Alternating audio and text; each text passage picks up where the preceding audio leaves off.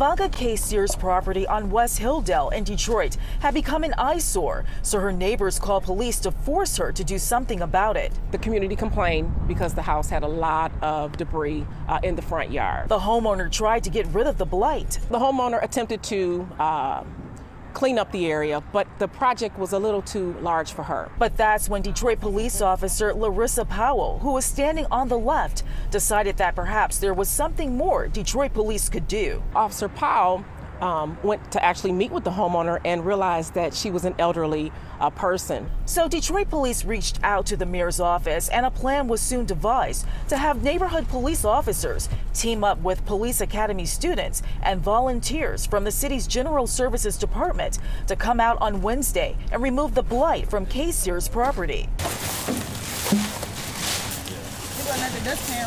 We're not, you know, just the police but we want to step in and let the community know that we're here, here to assist them as well. Kacir admits the cleanup was just too much for her. Uh, the big big branches, I can't carry it, you know, big stuff. It's a little bit hard.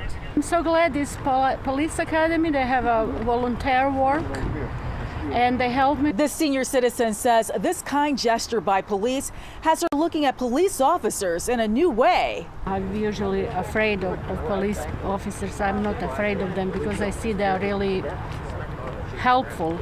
Just beautiful. I, I feel I can trust them. As the cleanup and blight removal wraps up,